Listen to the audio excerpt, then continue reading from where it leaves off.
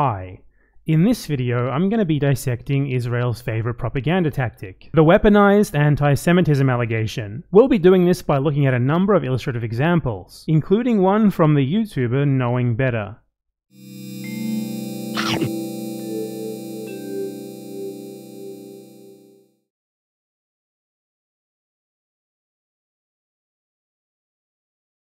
Weaponized anti Semitism allegations are one of the most common and most damaging tactics employed by pro Israel anti Palestinianist propagandists. They employ this tactic because they know that they can't win by arguing the facts. They even say in their own propaganda guidebooks, which they have by the way, that it's very difficult for them to win there. So instead, the Zionist argumentative strategy if you can even really call it that, is to avoid actual arguments entirely. Instead, they make threats and accusations while feigning indignation. The way this works is that absolutely anything that could be taken as even slightly negative about Israel is immediately met with ham-fisted attempts to frame the one saying it and or the facts themselves as anti-Semitic. And despite the obvious ridiculousness of such allegations, they're still often given massive undue credence due to the fact that the Western mainstream media, political establishment, and society in general are all very pro-Israel, and thus very willing to spread such accusations far and wide while pretending to be outraged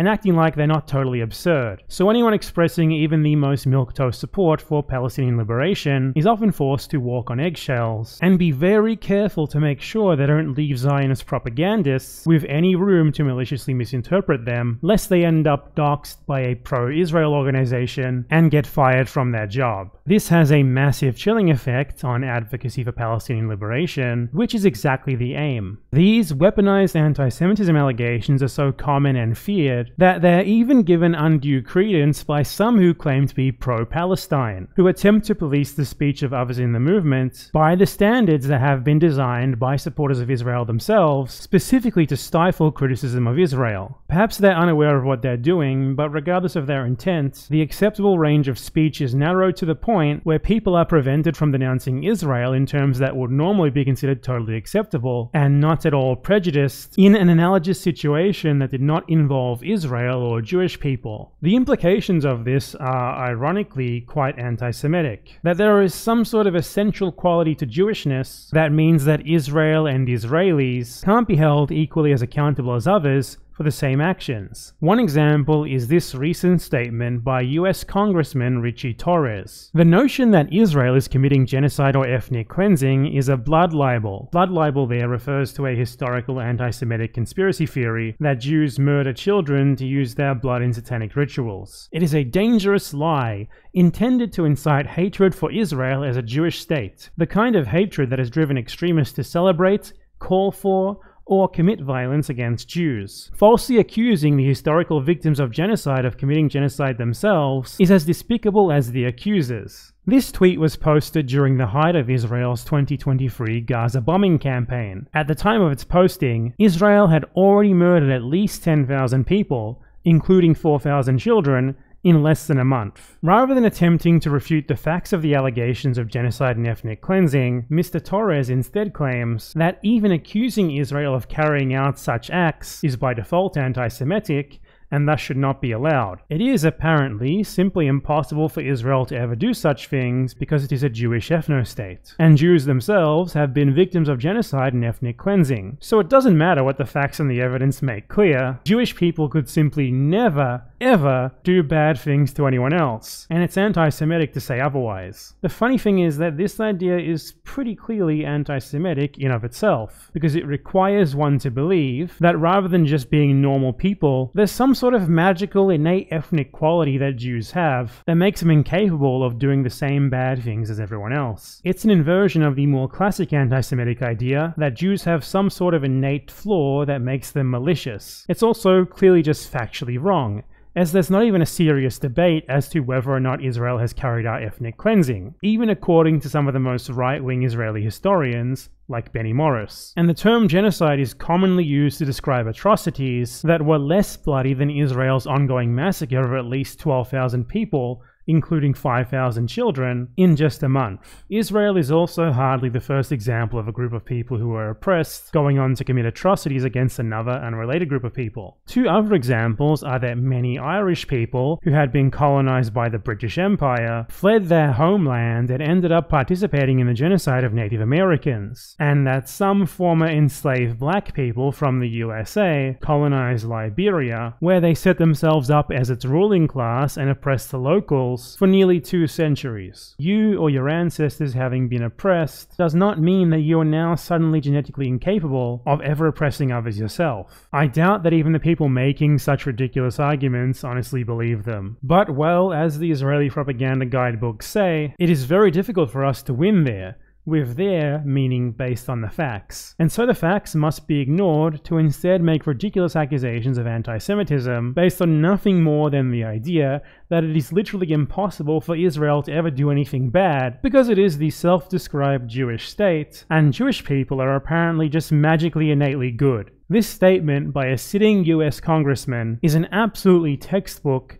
weaponized anti Semitism allegation. Allegations like this, where Israel supporters make little to no effort to refute the specific facts being referenced, to instead attempt to silence any mention of it via intimidation by branding anyone who dares talk about said facts as anti Semitic, are very common. Another such example is the way in which Israel supporters tried to shout down any mention of the fact that Israel constantly massacres Palestinian children with accusations of anti Semitic blood libel, such as this tweet by the National Director Emeritus of the Anti Defamation League, Abraham Foxman, where he accused the New York Times of anti Semitism for printing a cover with photos of Palestinian children who were, factually, murdered by Israel. The implication being that just because Jews historically have been slandered with false allegations of murdering children, that makes it anti Semitic to denounce Israel for factually murdering children. An obviously ridiculous idea. Some other examples of this article on the American Jewish Committee website, which claims that it is an anti Semitic blood libel to denounce the incontestable fact that Israel exports to the rest of the world repression techniques and technologies that it has tested and refined on Palestinians, including to the USA. Nothing about that is controversial. Leading pro Israel organizations like the ADL openly run programs to send American cops to Israel to study so called counter counter-terrorism strategies. The facts are inconvenient, but also irrefutable, so in response, they just scream anti-Semitism. This article also manages to shoehorn in a claim that it's blood libel to note the fact that Israel murders children, because, you know, of course it does, they just can't help themselves. Another great one is this post on Twitter, which claims that it is an anti Semitic, Nazi esque libel for a Jewish organization to denounce the irrefutable fact that 100 Israeli doctors signed a letter that called for the IDF to bomb hospitals. Yeah. Of course, it is possible to abuse facts like these for anti Semitic purposes. For example, if someone were to say that the reason that Israel carries out its atrocities against Palestinians is due to something innate to Jewish people, or blaming all Jewish people everywhere for the actions of the Israelis and their supporters, then that would clearly be anti Semitic. Just as if such allegations were made about atrocities that happened to be carried out by some other ethnic or racial group. But that's clearly not the sort of thing that these people are claiming is anti Semitic. Their aim is simply to brand any and all denouncements of Israel as motivated by nothing more than anti Semitism, by just screaming it at the top of their lungs until it sticks. Their concern is not with anti Semitism even slightly, it's solely with defending Israel by using the most underhanded tactics imaginable. Apart from being employed to help with the denial of inconvenient facts, weaponized anti Semitism allegations are also used in pretty much any other way that you could possibly think of, and probably some that might not occur to you. For example, they're used to shut down pretty much all pro Palestine, anti Israel political speech and action by insisting that it's anti Semitic. For example, Indigo Canada's largest retail bookstore chain, is owned by Heather Reisman. Reisman runs a foundation that is dedicated to providing support to soldiers of the Israeli Defense Forces. Clearly, someone like this, an influential millionaire who materially backs the brutal occupation military of an apartheid state, is a completely valid target for a protest or boycott or whatever. Not if you ask pro Israel propagandists, though. According to them, targeting her for funding IDF soldiers at a time when said IDF soldiers are massacring scores of Palestinian children, no less, is a vile anti Semitic hate crime, an indication that Jews in Canada are facing a wave of persecution. All context is removed to reduce an incredibly rich person doing what is essentially funding terrorism into little more than a poor, defenseless, vulnerable Jewish victim under attack for nothing more than her Jewish identity, and those who protest her actions and bring them to light as Nazi style anti Semites with no rational motivations aside from their hatred. It's a cynical, disgusting attempt to invoke imagery of the Holocaust to stifle criticism of a powerful person using her power to fund oppression. This sort of removal of context is always very deliberate, as the people involved in spreading such allegations tend to be supposed journalists and media types, whose job it is specifically to provide such context, so they know exactly what they're doing when they leave it out.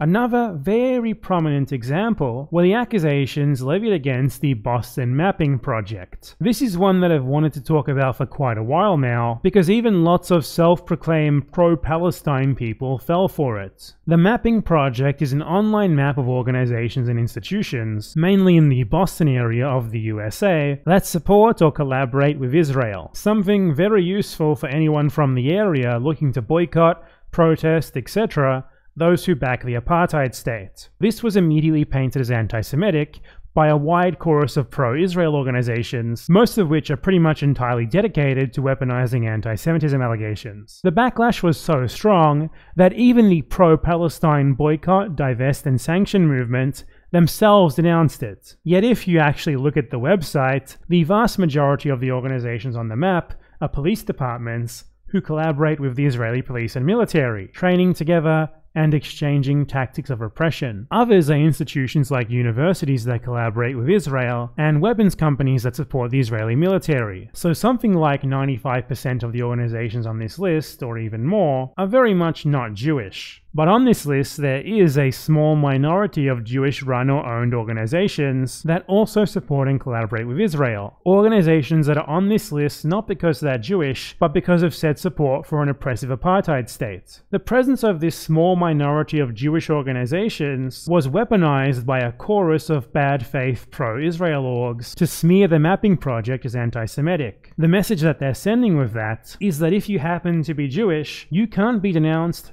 protested or boycotted for supporting and collaborating with an apartheid state. A widely diffused example of this supposed anti Semitism was this tweet, which claimed that the Mapping Project is anti Semitic for listing a Jewish organization that helps the disabled called Yachad New England. But if you go to Yachad New England's website, it's really not hard to find that this organization organizes Birthright Israel trips. As the name implies, these trips are based on the idea that being born into the Jewish ethnicity gives you a special right to live on colonized Palestinian land. They are designed to recruit Jews from around the world for a dystopian propaganda experience aimed at giving them free trips to Israel, directed towards convincing them to migrate there and participate in colonialism and apartheid themselves. On top of that, this organization also counts among its partners a couple of other organizations that are also listed on the mapping project, like Jewish Boston,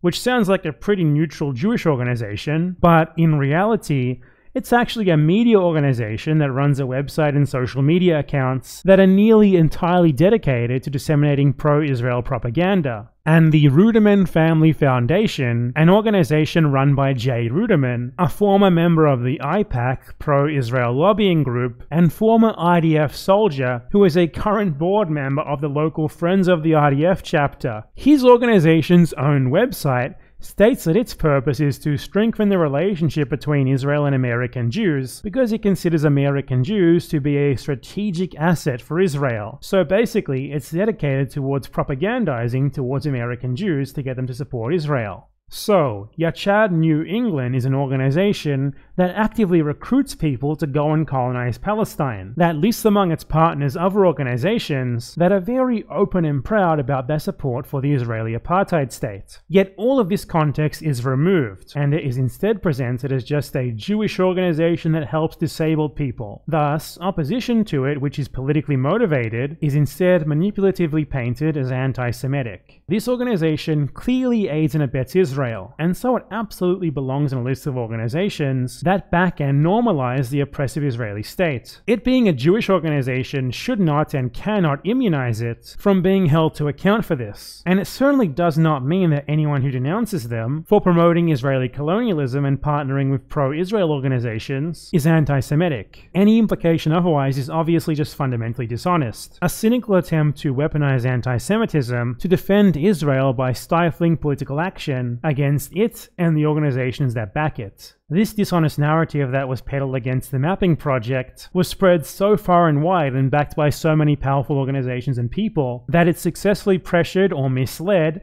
large numbers of Palestine supporters into denouncing it as anti Semitic themselves. Let us imagine an analogous situation. We're in 1975, and there's a white South African community organization that is a proud partner of numerous other local pro-apartheid organizations. This organization recruits disabled white people for trips to apartheid South Africa. They're painted as a perfect country full of wonder, with no oppression anywhere whatsoever, and encourages them to move there to become a part of and strengthen the apartheid system themselves. Would it be anti-white racism to put that organization on a map of organizations that supported apartheid South Africa, to call to boycott, protest, or disrupt those organizations? Obviously not.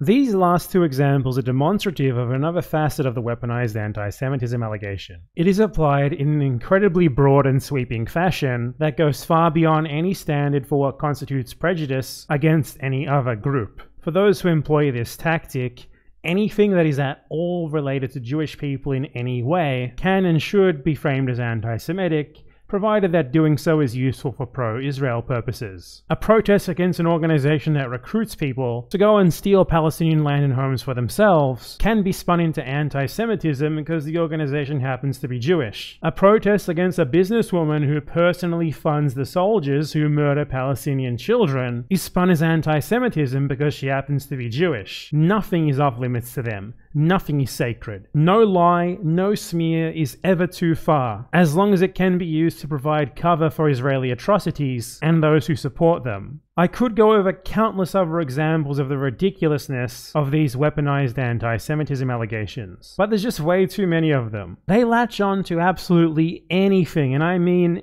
anything. So it's really impossible to even come close to covering all the tricks they use in just one video. One more, though, is abusing the fact that there is a Star of David on the Israeli flag, and also on the aircraft that they use to bomb Palestinian children with to cry anti Semitism at anyone who then uses that symbol, which Israel chose for itself to make negative references towards Israel. And even when people take the necessary care to make sure not to solely depict the Star of David and include the rest of the Israeli flag along with it and make the colors correct and everything, they still accuse them of anti Semitism. People have actually been fired from their jobs for holding signs depicting the Israeli flag being thrown into a trash can.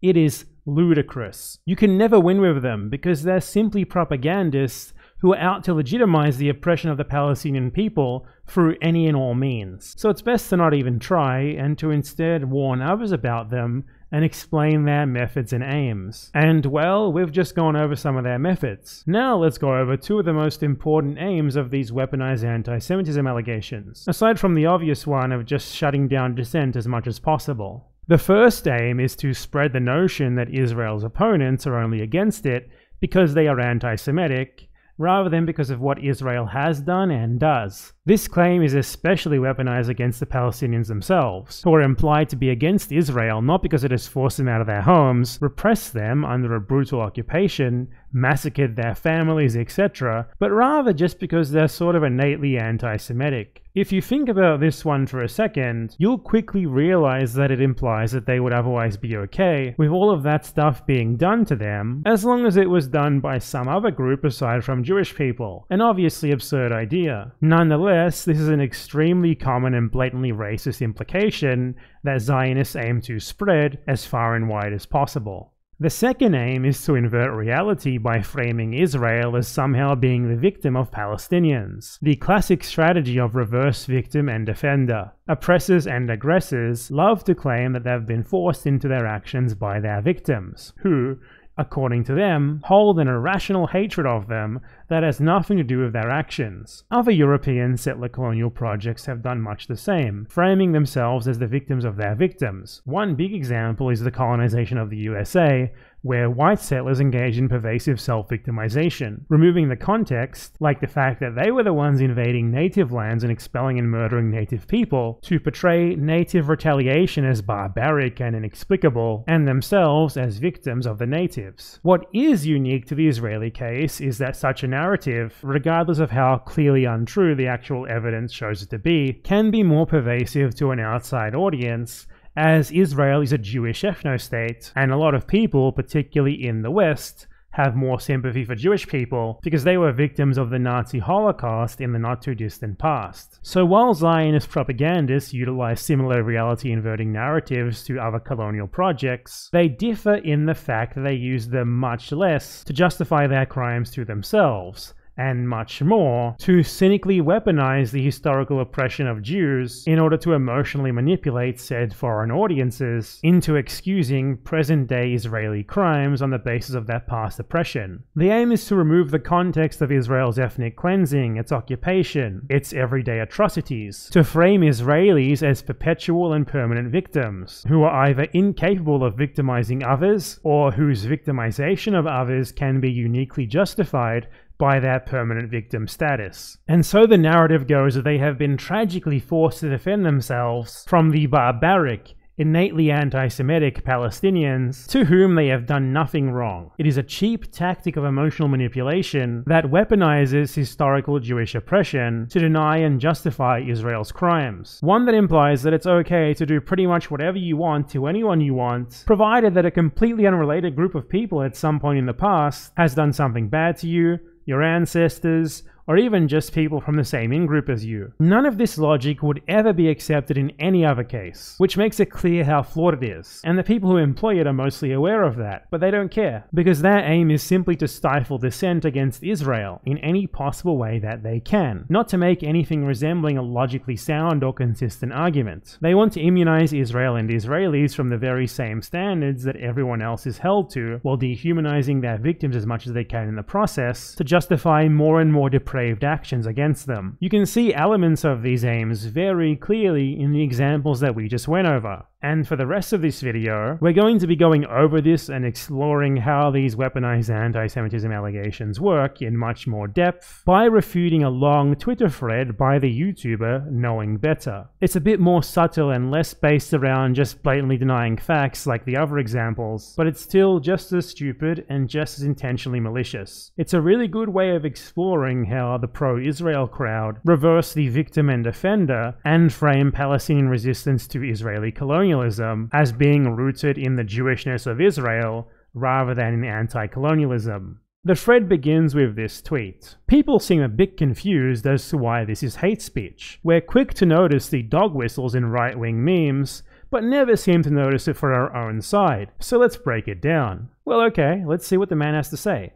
He continues The key the story goes that when Israel was first established, the Palestinians who were forced out of their homes kept their keys so they could eventually return. This doesn't symbolize freedom or peace, but retaking Palestine from the Jews. I'm not exaggerating at all when I say that this is probably the worst case of the weaponized anti Semitism allegation that I have ever seen. Okay, so first some context. In 1948, in an event known as the Nakba, the vast majority of the Palestinian population, some 750,000, were forcibly expelled by Israel and never allowed to return to their homes. Their land was then handed over to Israeli settlers. Many of the victims of this ethnic cleansing kept the key to their homes, hoping to one day return, and this has become a powerful symbol of the Palestinian struggle for their right to return to their stolen land and homes. But knowing better reframes these people, who are clearly victims of Israel, as potential hypothetical perpetrators, while the Israelis who stole their homes and forcibly expelled them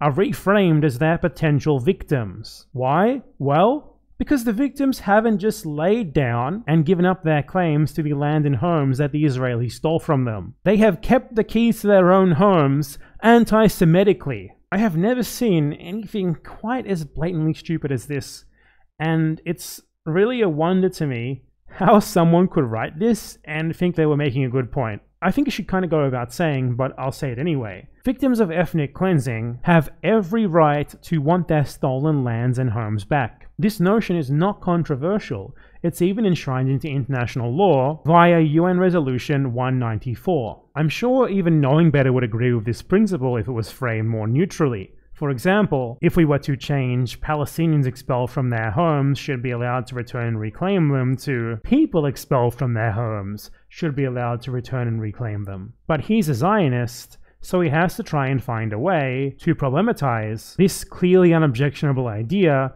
solely in the case of Israel, and he tries that with this last line. This doesn't symbolize freedom or peace, but retaking Palestine from the Jews. This is more of the emotional manipulation that I'm talking about. Palestinians wanting their stolen land and homes back, which they still hold the keys and deeds to in many cases, magically becomes anti Semitic because the thieves happen to be Jewish. The Palestinians' completely rational understandable, and morally righteous desire, which is also a legally enshrined right, which literally anyone else in the same situation would also want to exercise, becomes anti Semitic because knowing better manipulatively reduces the people who stole the land from them and who have since kept them under a brutal occupation while periodically massacring them to just the Jews. It would be infinitely more accurate to say the Israelis or the Zionists, but the less precise the terminology that he uses, the more he can imply that the Palestinians are evil anti Semites for the crime of wanting their homes back. He also makes a very conscious choice to say not just Jews, but the Jews, intentionally using a phrasing which is commonly used by right wing anti Semites. Additionally, he uses the fact that Palestinians don't want to give up their legally enshrined right to get their own property back to frame them as the barrier to peace. This is a common trick played by the pro Israel crowd, which is also more broadly applicable to other conflicts. The side that is blamed for preventing peace is not Israel for refusing to give Palestinians their stolen land back, rather, it is somehow the Palestinians who are blamed because they refuse to agree to peace on Israel's terms, which are that they just give up and stop asserting their right to what is theirs and just let Israel have everything. It's a clear as day pro Israel framing. Palestinians are thus dehumanized to the point where they are framed as like evil anti Semitic devils for something as simple and clearly righteous as wanting their stolen homes and land back. We're supposed to believe that that is not an entirely rational desire for them to have, but rather a vulgar manifestation of anti Semitism. In order for that desire to be anti Semitic, it would need to be driven specifically by a hatred of Jews, not by the same sort of rational response to colonial dispossession that literally anyone would have. For that to be the case, we would need to believe that Palestinians would not want this exact same right of return if the thieves had instead been from some other ethnic group. That they would just love it if, like, Russians or Albanians or Peruvians had stolen their houses. An obviously ridiculous idea and an incredibly racist one. As usual, the ones screaming anti Semitism are themselves massive anti Palestinianists. The only other possible interpretation is another one that we went over earlier that Jews, due to historical oppression they have faced, should be allowed to do things to others that would otherwise not be permissible. Thus, this is a special situation where wanting to get your stolen property back is morally reprehensible, but solely because the thieves happen to be Jewish. This tweet is an amazing demonstration of everything that I just went over. The emotional manipulation achieved by bringing up the fact that those who stole these Palestinian land and homes happen to be Jewish, when this is entirely irrelevant to the motives of Palestinians for wanting the right of return to their own goddamn homes. The reversal of victim and offender, where victims of ethnic cleansing and subsequent occupation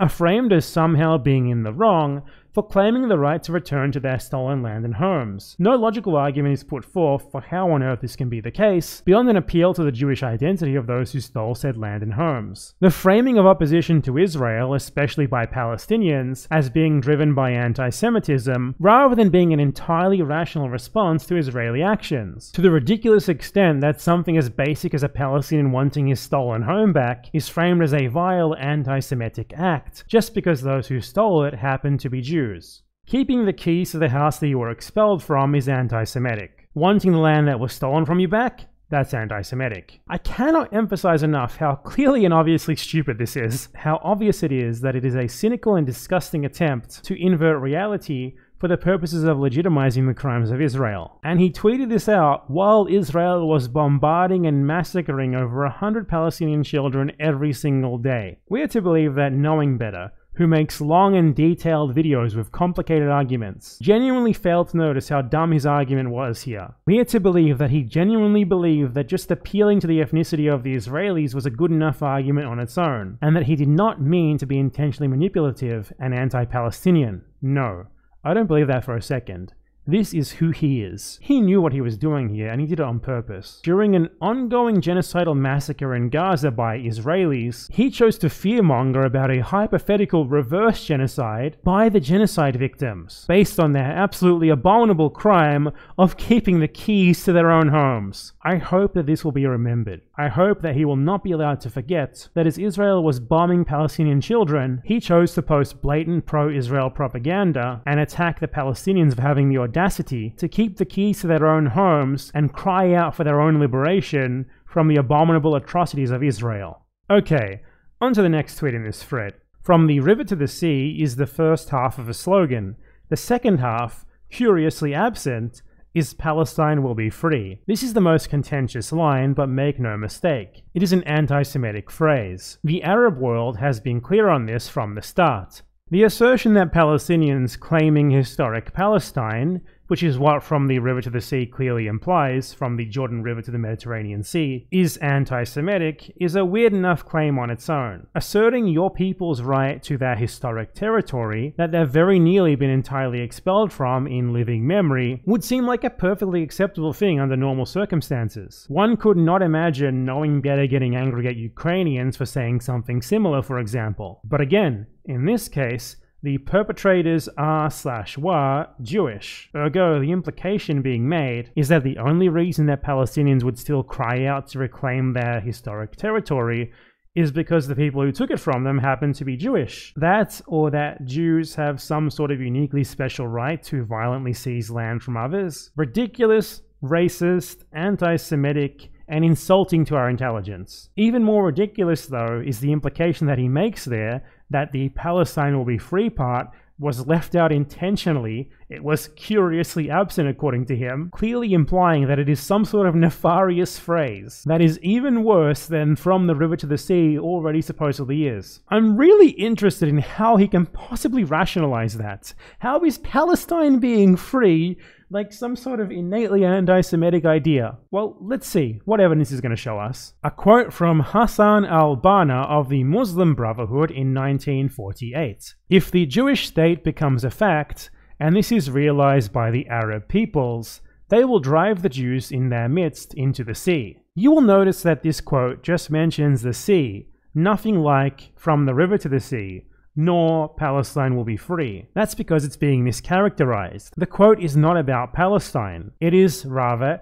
an Egyptian who is threatening the expulsion of Jews from other Arab majority countries in retaliation for the partition of Palestine. So he also is not even Palestinian. So this is not even an example of the phrase actually being used. It's not even a quote from a Palestinian, and he's not even talking about expulsion from Palestine itself. So it is not an example of what knowing better is claiming it is. Nor would it really matter if it were, since you can't just quote one guy, to prove that a call for liberation used by millions upon millions of oppressed people is some sort of nefarious, anti-Semitic dog whistle. And regardless for that to be the case, we would still need to accept the absurd idea that Palestinians would not fight for their freedom or want to reclaim their homeland from the river to the sea just as much if they had been colonized by some other group aside from Jews. And the wider context of this interview can maybe shed some more light on this, even though again,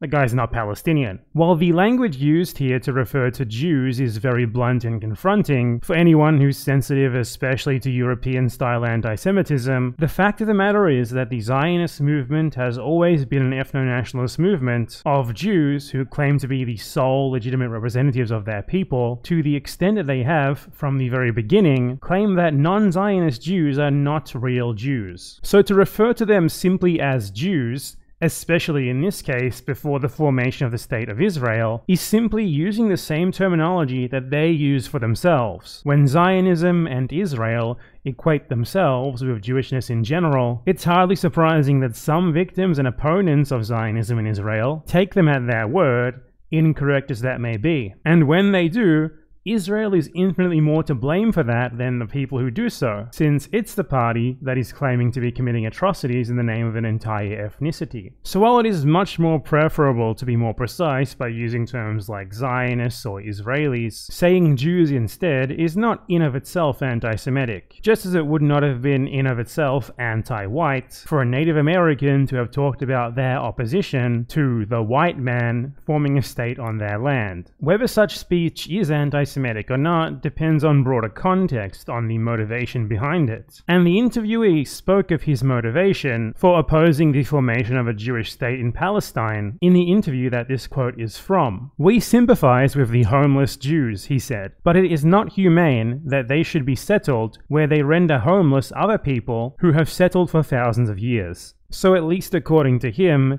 his opposition to the foundation of a Jewish state was not based on him being opposed to the idea of a Jewish state, but rather him thinking that it was wrong to break up Palestine and hand huge parts of it over to the settlers, as this went against the wishes of the Palestinians, who had been there for far longer and who would be displaced in the process. You can choose to take him at his word or not. I honestly don't really care about defending this guy's honor, since again, this is an Egyptian who is not even using the actual phrase, nor even referring to Palestine, and that alone already renders knowing better's usage of this quote as evidence here invalid. Rather, I'm using this as an opportunity to show that calling Jewish settlers in Palestine Jews, especially historically, and talking about retaliation against them cannot be taken as anti-Semitic by default, unless you actually have some sort of evidence that this is motivated by their Jewishness, rather than them being part of an ethno supremacist project that was and still is colonizing Palestine at the expense of Palestinians. There is a clear difference between punching someone because you hate an essential facet of his identity and punching someone because he's stealing your home. And weaponized anti-Semitism allegations seek to convince people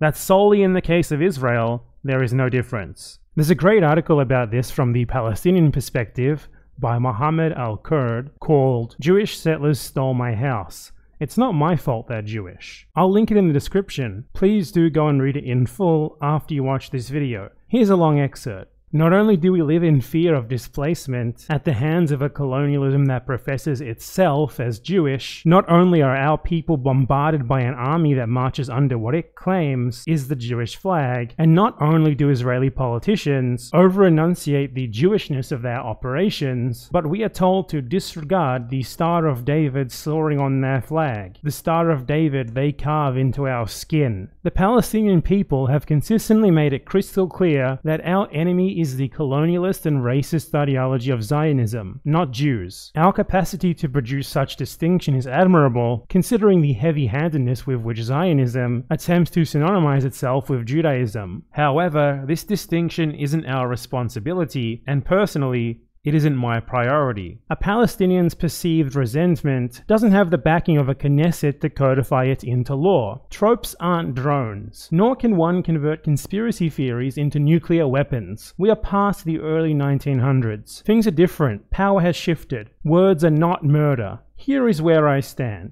There is a Jew who lives, by force, in half of my home in Jerusalem, and he does so by divine decree. Many others reside, by force, in Palestinian houses, while their owners linger in refugee camps. It isn't my fault that they're Jewish. I have zero interest in memorizing or apologizing for centuries old tropes created by Europeans or in giving semantics more heft than they warrant, chiefly when millions of us confront real, tangible oppression, living behind cement walls or under siege or in exile, and living with woes too expansive to summarize. I'm tired of the impulse to preemptively distance myself from something of which I am not guilty and particularly tired of the assumption that I'm inherently bigoted. I'm tired of the pearl clutching pretense that should such animosity exist, its existence would be inexplicable and rootless. Most of all, I'm tired of the false equivalence between semantic violence and systemic violence. I'll never be a perfect victim. There's no escaping being accused of anti Semitism. It's a losing battle, and more importantly, a glaring red herring. There are better things to do. We have coffins to carry. We have kin in Israeli mortuary chambers that we must bury.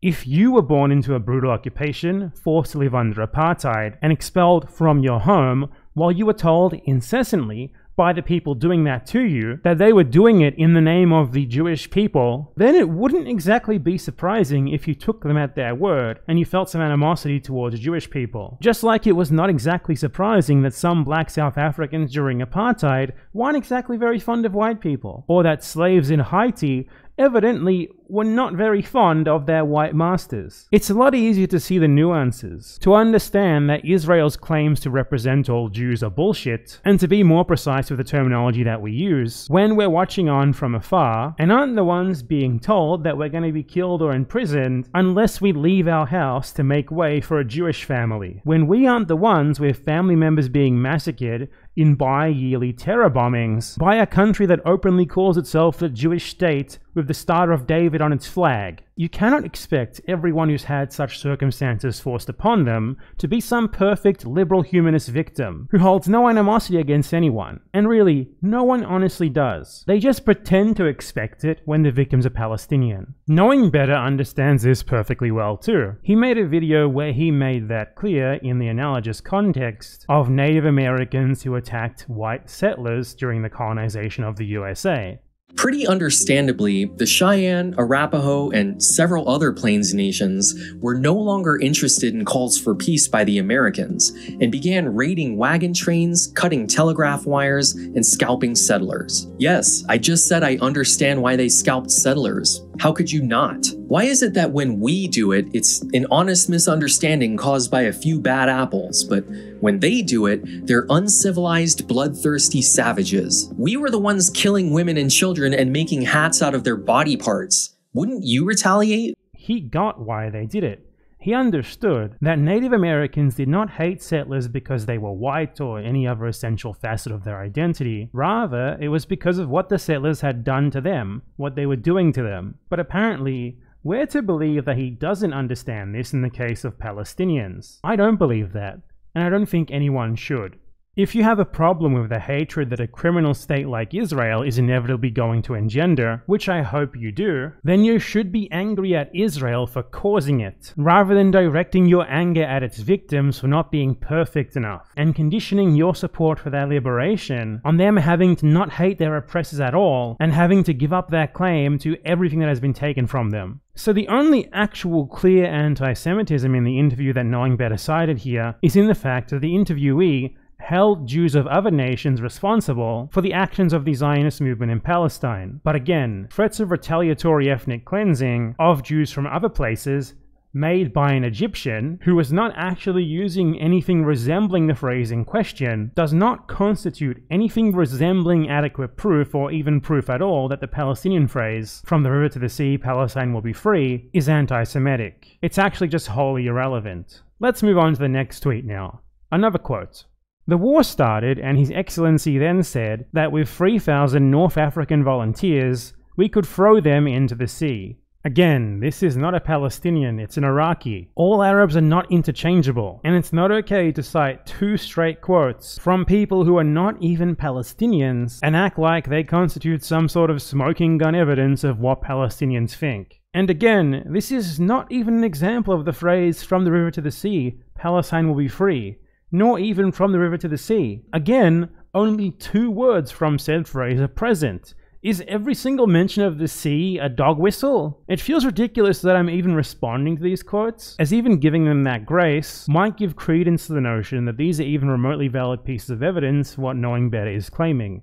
They're not. But still, whether this specific quote is anti Semitic or not requires more context. Is throw them into the sea a literal threat or a euphemism for winning the war against them and taking back Palestinian land? And was he saying this because the settlers were Jewish, or because they had declared themselves as the exclusive owners of more than half of Palestine and then expelled 750,000 Palestinians from that land? From this text alone, we can't form any sort of concrete idea as to what his motivations were either way. But the assumption that they had to have been anti Semitic speaks to a double standard that is applied solely to Palestine, one that is inherent to the logic of the weaponized anti Semitism allegation. Let's use some analogies to demonstrate this. If a Pole who was colonized and occupied by Germans during World War II said that he wanted to drive the Germans into the sea, no one would ever seriously argue that that guy was motivated by some sort of primordial anti German hatred rather than just being against the invaders. If a Ukrainian living under Russian occupation said the same about Russians, no one would seriously argue that he were an anti-Russian racist either, nor would it be taken as a literal threat rather than as a metaphor for reclaiming stolen territory. Yet in the case of Palestine, the exact opposite is almost always assumed by default.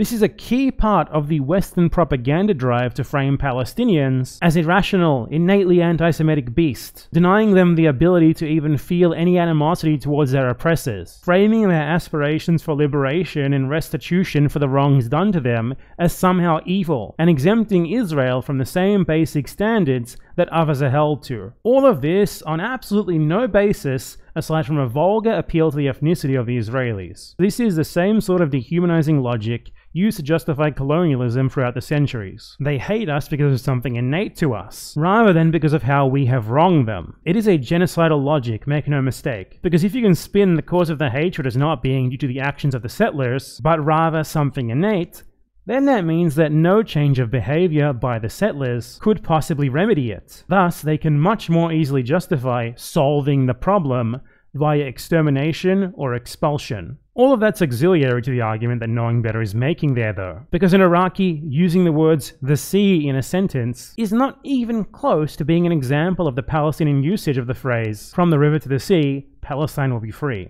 Let's move on to the next tweet now.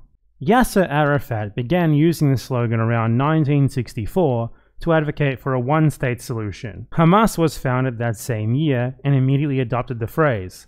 They openly want to obliterate Israel. This is simply not true. Hamas was founded in the late 1980s during the first Intifada. Knowing better seems to have moved this up a couple of decades for the purpose of trying to delegitimize the phrase by claiming that it was used by Hamas from the very beginning, it just wasn't, though. Also, Hamas does not openly want to obliterate Israel. Their position on Israel is actually a huge concession. It sucks ass, if you ask me. They accept the two state solution along 1967 lines, which, from the Palestinian point of view, is actually a massive concession that hands Israel the vast, vast majority of their country. The only land that Palestinians would get back from such a deal is some of the West Bank settlements that Israel has colonized since. Nonetheless, even if they did want to openly obliterate Israel, aside from knowing better's intentionally loaded usage of the term obliterate there instead of something like abolish or dismantle, that's hardly anti Semitic by default, not even close. Because from the Palestinian point of view, and also the point of view of really any remotely decent person who can acknowledge reality, Israel is an illegitimate state, an ethno nationalist occupier that has colonized and stolen their land, expelling them from it on the basis of their ethnicity. A state is not the people who live within its borders. Abolishing it does not mean that magically everyone who lives there just ceases to exist. Abolishing it means getting rid of it and its bureaucratic apparatuses and replacing them with new ones. It does not imply doing anything at all to the people who live there. Nor does wanting to abolish Israel imply at all that the motivation for wanting to do so is because it is Jewish, rather than the facts on the ground, where it occupies Palestinian land and brutally oppresses Palestinians. Again, unless you believe that the Palestinians who want to abolish Israel would want to abolish it less if the people who had usurped that land and treated them like animals for seven decades were Puerto Ricans or whatever other group of people instead of Jews, then the allegations of anti Semitism are simply nonsensical. To immediately jump to anti Semitism allegations is manipulative and dishonest, an indication that you have no other means of justifying why the oppressive ethno nationalist settler state of Israel that you like so much should be allowed to exist on any basis aside from just a cheap appeal to the ethnic identity of the Israelis and implying that it is somehow special. Think for two seconds about what Israel is and what it has always been from the very beginning, from even before it was founded. A state based on ethnic supremacy, ethnic exclusion, ethnic dispossession, and apartheid, to which these characteristics have always been core to it Without that, Israel is no longer Israel. They've also only gotten worse over time. So, why exactly is it wrong to be against the existence of such a state? And how is it possibly anti Semitic to be against it? When this opposition is obviously based on those characteristics, and not the fact that it just so happens to be majority Jewish? It's obviously not. Insinuations like this are no different than it would have been to say that Rhodesia or apartheid South Africa have a right to exist, and that being against their existence made you anti white. The only difference is that Israel is a Jewish apartheid settler state, rather than a white one. The notion that that makes it any more or less legitimate is clearly just racist, as well as dehumanizing to Israel's Palestinian victims, since it implies that their oppression is somehow more righteous. The crux of the weaponized anti Semitism allegation is the irrational, illogical, cynical, and manipulative implication that every horrid thing about Israel is magically acceptable solely in the case of Israel. So it is thus anti Semitic to be against this state in any way, shape, or form. Okay, next tweet. Arafat may have wanted it to mean one thing, but it was co opted almost immediately. Arguing otherwise is like arguing the swastika is a Hindu symbol, yet many on the left seem to believe exactly that, and desperately want to convince you as well. No, it wasn't co opted almost immediately, you made that up. But anyway, this is another instance of the Israeli propaganda tactic of the reversal of the victim and the offender. Palestinians, the victims of colonialism, are put into the shoes of the ultimate perpetrators of evil, who were also colonizers themselves of Eastern Europe the Nazis, via the equation of the Palestinian call for freedom from Israeli oppression and for the return of land that they were ethnically cleansed from in living memory with the Nazi swastika. This is a clear absurdity because if there is a comparison to be made here with the Nazi project of racial supremacist, ethno nationalist colonialism, it is obviously with the Israelis, who are the perpetrators of their own project of ethno nationalist, racial supremacist colonialism, not with the Palestinians who are the victims of it. If you're seeing a pattern in this Twitter thread of absurd claims that fall down immediately if you think about them for like a second or two, that's not a coincidence. Because a big part of the weaponized anti Semitism allegation is rote repetition. There is a veritable industry of organizations designed to look respectable and credible, whose main purpose is to abuse their faux aura of respectability to accuse every anti Israel thing that they see of being anti Semitic. These allegations, no matter how dumb they obviously are, are then heavily boosted by celebrities, influencers, media personalities, and others who have big audiences on social media like knowing better. They also often spread by and sometimes originate from the compliant, pro Israel mainstream media. When there is such an overwhelming chorus of well funded propaganda organizations, media outlets, and people with massive social media followings making repetitive allegations that obviously not anti Semitic things are somehow anti Semitic a thousand times a day, this has a great effect on the public perception of what constitutes anti Semitism. Eventually, some of them stick and there's so many of them that are being thrown out that this broadens the definition more and more and more every single day, slowly but surely. Eventually, Palestinian existence itself is going to be branded anti Semitic. That's if it hasn't already been. Because Palestinians having the key to their own house as anti Semitic is damn near close to that. Palestinians are so universally degraded, so universally dehumanized, that it's possible for someone like this to frame them as the bad guys, as the Nazis, for wanting to return to their own homes. While we're here, I might as well mention that there's another common type of weaponized anti Semitism allegation related to this tweet that comparing Israel to the Nazis is anti Semitic solely because the Nazis genocided Jews and Israel is a Jewish ethno-state. Curiously though, a lot of the same people who make this accusation have no problems with comparisons of Russia to the Nazis, despite the fact that the genocide of Russians was also a core part of Nazi ideology and practice. It's only claimed to be impermissible when it's inconvenient for Israel, Wow, what a surprise. The real motivation behind this claim is not genuine offense at supposed anti Semitism, obviously. It's rather a desire to immunize Israel from being compared to the reference point for evil in the Western world. They want to deny their victims the ability to make such a powerful and widely understood comparison. Israel is a fanatical, racial supremacist ethno state carrying out settler colonialism, just as Nazi Germany was. So even if the level of severity is not the same, the comparison between them is apt. Because when it comes to comparisons with the Nazis, the level of severity is very rarely anything resembling the same anyway. My advice to Israel and its supporters would be that if you don't like being compared to the Nazis, maybe you should just stop doing Nazi stuff. And if you want more evidence that they don't actually care about anti Semitism, beyond their ability to cynically weaponize it, the same sorts of Zionists who weaponize anti Semitism allegations have recently started rehabilitating the Nazis as caring humans who genuinely thought that what they were doing was for the common good, in order to argue that the Holocaust wasn't actually that bad, to make Palestinians seem worse by comparison, to frame them as the ultimate animalistic monsters who hate for the sake of hatred and against whom any action is therefore justified. Those are Nazi levels of dehumanization of their victims. They care about absolutely nothing aside from saying whatever they think best serves Israel in the present moment, no matter how ridiculous it is and no matter how clearly actually anti Semitic it is. Not even Holocaust revisionism is too much for them. Let's move on to the next tweet in the thread now.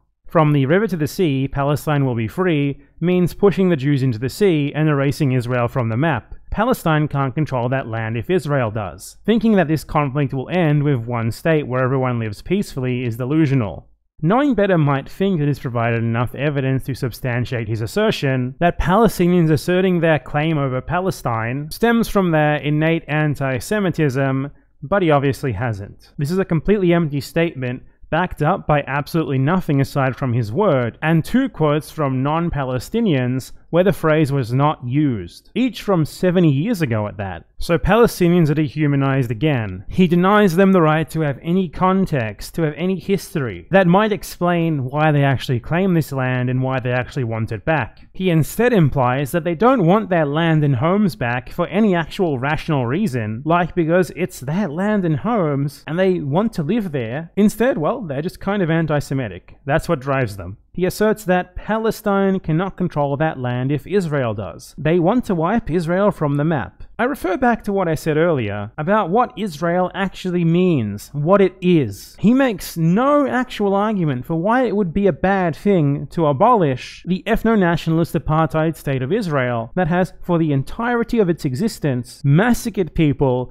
and kept the survivors in chains for the benefit of the Jewish Israeli population. We are supposed to just take it for granted that the existence of this vile terrorist state is something worth upholding and protecting, and that this means that anyone who wants to abolish it is automatically some sort of horrible villain, especially if they're Palestinian. This is no different to exclaiming, oh my god, they want to abolish Rhodesia, and expecting everyone around you to feel horrified rather than cheer. To see the words Free Palestine at a time when Israel is killing more than 100 Palestinian children per day and say, um, actually, freeing Palestine would be genocide, is the most vile reversal of victim and offender imaginable. An inversion of both presently existing reality and the entire history of the Israeli colonization of Palestine, where Israel has always been the one that has planned to and actually carried out ethnic cleansing and genocide against Palestinians, not the other way around. It also betrays a complete lack of imagination, since he presents as if it's completely logical the idea that the abolition of the ethno supremacist state of Israel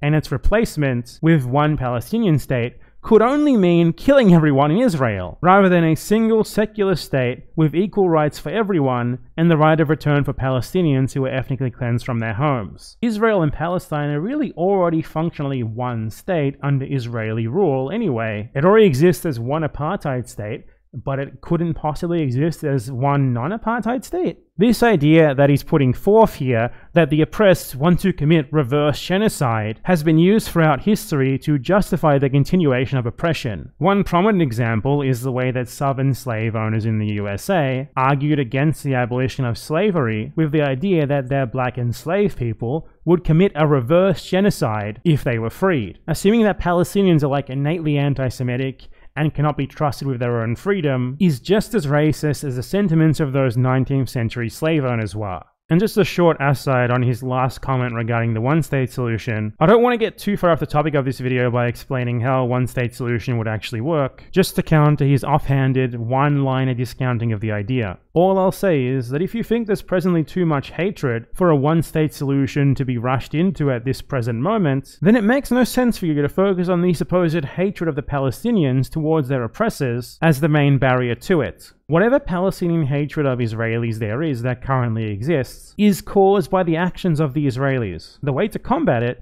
is to make Israel change its behavior, not to focus instead on tut-tutting at their Palestinian victims. To demand that Palestinians love Israelis before they're allowed freedom is like demanding that a slave love his master before he can be released. It's putting all the onus on the victim, yet again. Reconciliation can only begin from the Israeli side, but people like knowing better assert the exact opposite, even though it's self evidently ridiculous. They can only get away with this because of how normalized support is for Israel in Western society. So, mercifully, we've finally arrived at the last tweet in this thread. Let's check it out. Just as addendum, while Palestine will never die doesn't have any hidden meaning, it gives off real the South will rise again vibes. All that said, I support Israel's existence but what they're doing, and have been doing for decades, is wrong. So, Palestinians who assert in the face of the Israelis, who would very much like for them to not exist, that they will never die, that's just like racist Americans who want to bring back the Confederate slave state. Why? Well, because he feels bad vibes, of course. They're clearly refusing to die anti Semitically. Again, like with the Nazi comparison, reality is reversed, with Palestinians being compared to an example of a historical oppressor state rather than the Israelis. But the reality is that in the relationship between Israelis and Palestinians, the Israelis are the ones who are comparable to the Confederates and the Nazis, and the Palestinians are their victims. Then, after having already done pretty much everything that he possibly could to delegitimize Palestinian liberation and attack Palestinians while bombs simultaneously rain down upon them, he has the audacity to claim that he's against Israel's actions over the last few decades, but not without first asserting that he supports Israel's right to exist. He can't just announce the suffering that Israel causes the Palestinians, no, no, no. He has to include a clarification that the cause of them the Israeli ethno-nationalist project should continue.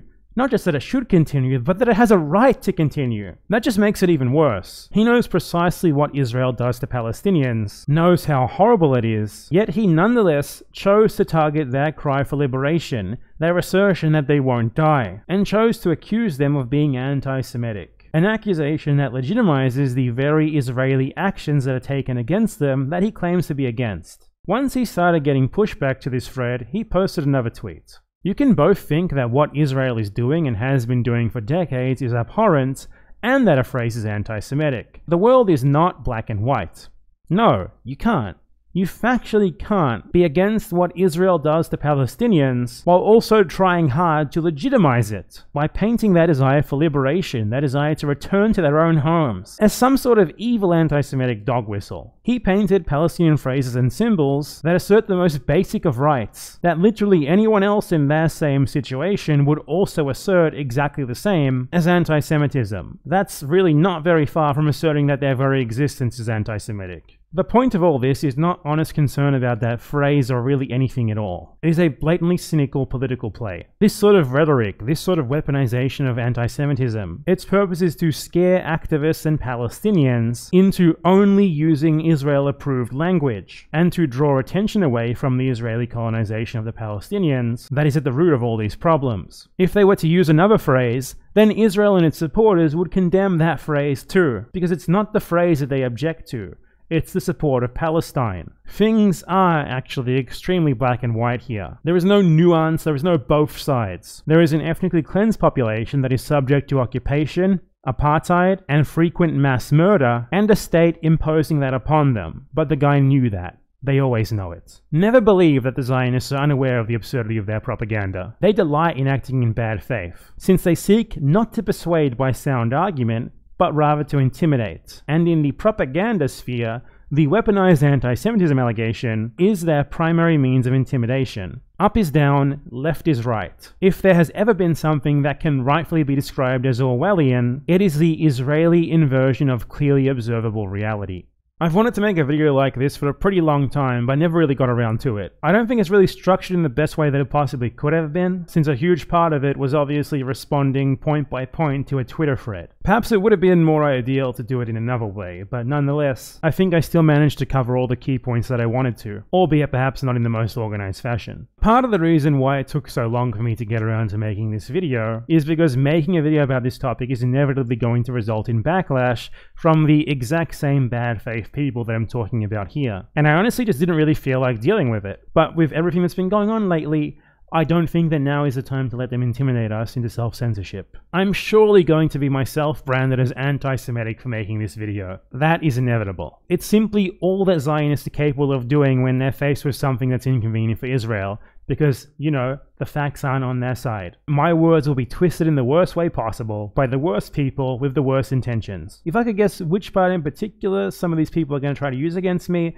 it would be the bit where I made the distinction about wanting to push invaders into the sea because of their ethnicity versus because of them just being invaders. Nonetheless, it was an important point to make, since the intent is what makes an action anti Semitic, not just that the subject of it happens to be Jewish, regardless of how much pro Israel propagandists try to change reality and insist otherwise. Unlike those who weaponize anti Semitism allegations, I actually think that Jewish people are just normal people, the same as everyone else, and don't need to be coddled and condescended to by the implication that they need some sort of special standard applied solely to them, that they should uniquely be allowed to oppress others. Palestinians are constantly opportunistically branded as anti Semitic for no real logical reason aside from having been colonized by people who happen to be Jewish. Because of that, their simple desire for freedom and restitution and their resistance actions are framed as motivated by little more than a primordial racial hatred, when this would all obviously be exactly the same